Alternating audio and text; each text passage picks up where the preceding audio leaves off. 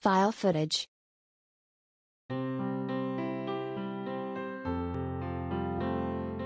Camilla Parker Bowles is opening up about being one of the most disliked people in the UK during her affair with Prince Charles while he was married to Diana, saying that she just found a way to live with it.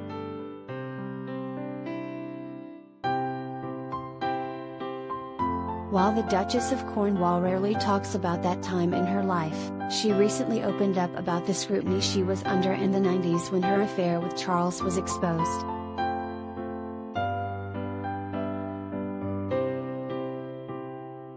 Talking to Vogue for their July 2022 issue, Camilla said, It's not easy.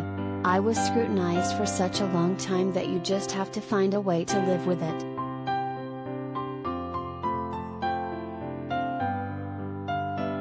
She continued by saying, Nobody likes to be looked at all the time and, you know, criticized, but I think in the end, I sort of rise above it and get on with it.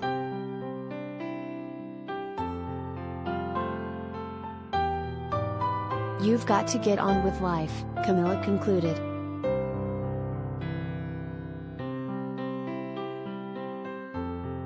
Earlier, Camilla has described that particular time in her life to the Daily Mail, saying, It was a deeply unpleasant time and I wouldn't want to put my worst enemy through it.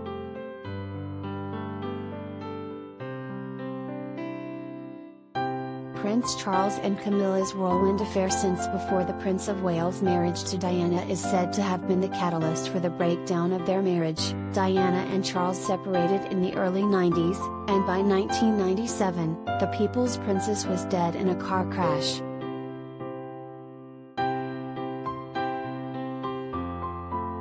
In 2005, Camilla finally tied the knot with the future king, Prince Charles.